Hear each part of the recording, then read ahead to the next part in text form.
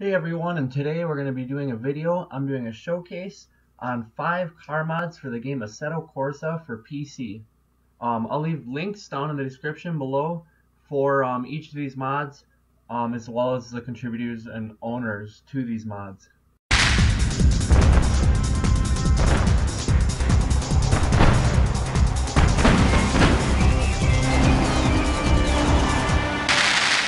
First up on the mod list today is the 2010 Toyota Prius mod by Forceful, updated and edited by Assettoland. Like most of the mods put together by Assettoland and other contributors, this is a very nice mod. The only thing it could really use um, is a sound, maybe a sound update to give it that hybrid synergy drive um, audio. As far as visuals go, this car is spot on.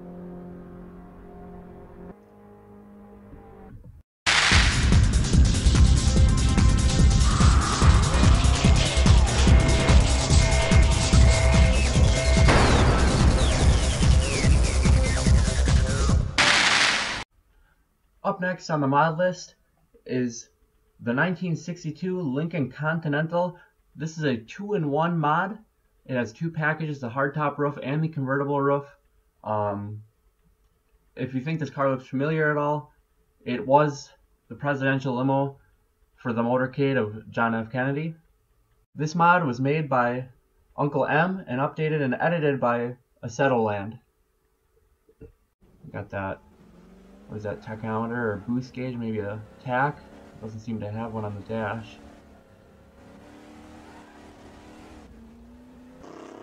Alright, so first off, what I'm noticing, this car handles like a boat would on land.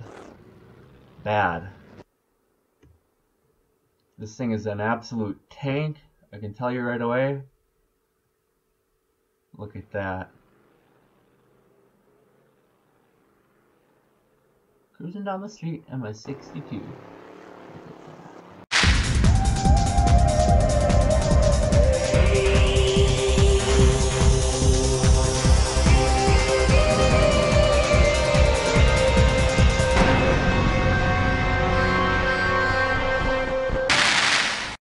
And here we have the Bugatti Chiron Supersport 300 plus mph, version 1.0 by Top Race.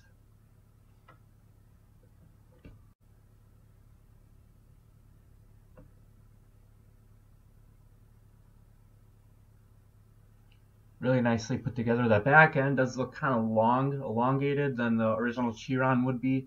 Um, headlights look nice. Headlights look nicely put together. Um, with those two orange stripes on the middle, it is giving it that Grand Theft Auto 5 kind of vibe. Okay, let's see if we can do a launch control on this.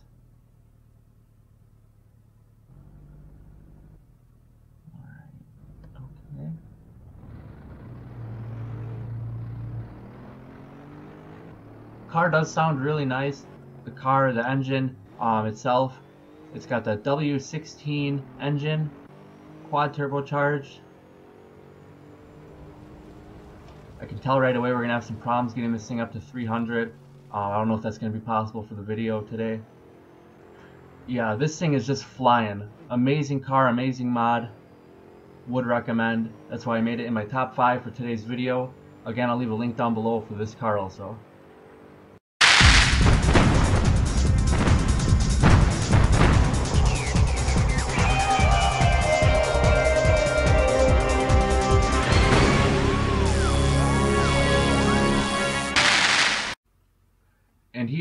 We have the DMC DeLorean from Back to the Future, the series, Back to the Future 1, 2, and 3. Um, this car does come separate, the Back to the Future version and the original DMC 12 stock DeLorean. They come as two separate mods. You will have to go to the website and um, find the original DeLorean if you want that. This is just for the Back to the Future version. This is version 1.01 by Chivas Auto Art. As you can see, this car is really nicely, really nicely put together. Um, all the cords and the wiring in there, um, all the little terminals, everything like it would be in the actual movie.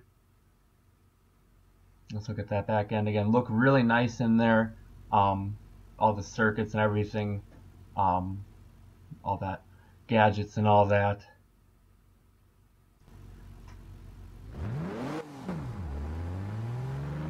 Okay. Let's see what this thing's got. Let's see if we can get this baby up to 88 miles per hour.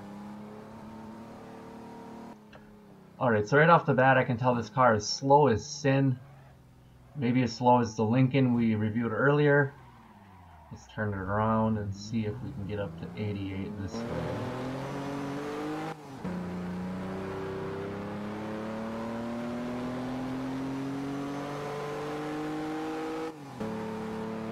Alright, so this car is not going to get up to 88, at least on this track, on the drift track that I'm running it on. Um, the mod itself, really nicely put together, would recommend. It is my second to last mod. I have one more next. Again, the links for all these cars will be down in the description.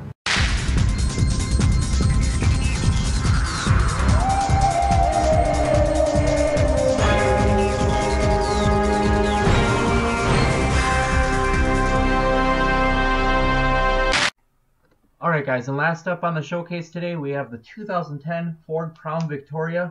This is a 4-in-1 mod pack. It has the Police Interceptor, GT500 model, X-Police, and unmarked variant. This is version 311219 by Bruce Kelt.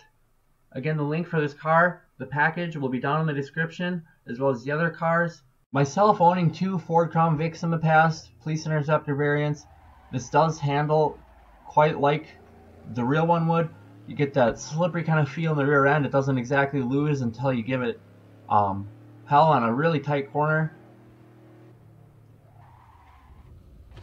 Oh.